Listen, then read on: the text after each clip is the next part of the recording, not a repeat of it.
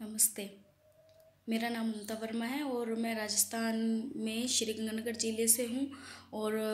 मैं अभी राजस्थान के सीकर ज़िले में कार्य कर रही हूँ और जिस स्कूल का नाम है आशा का झरना और वहाँ इन इंटेलेक्चुअल डिसेबिलिटी और हियरिंग इम्पेयर्ड के बच्चे हैं।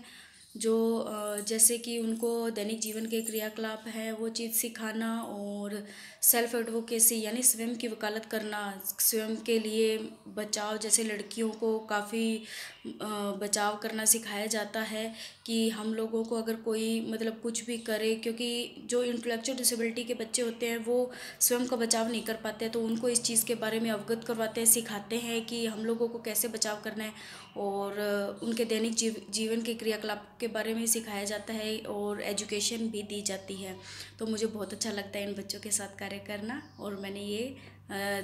कोर्स किया है दो साल का अजमेर से। Thank you